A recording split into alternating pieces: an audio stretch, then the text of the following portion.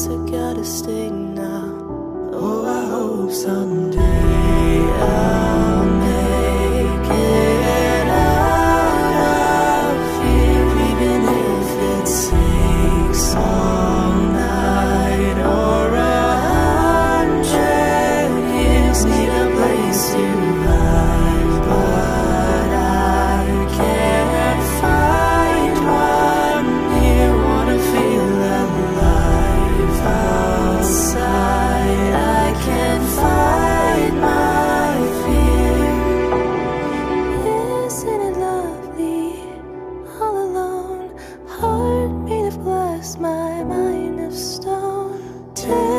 to pieces, skin to bone.